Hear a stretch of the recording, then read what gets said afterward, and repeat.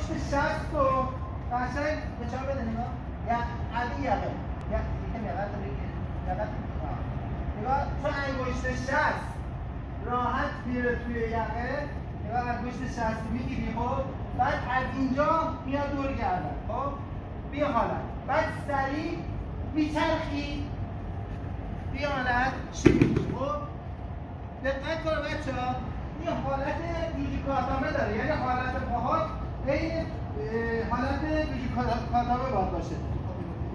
نگاه کنید.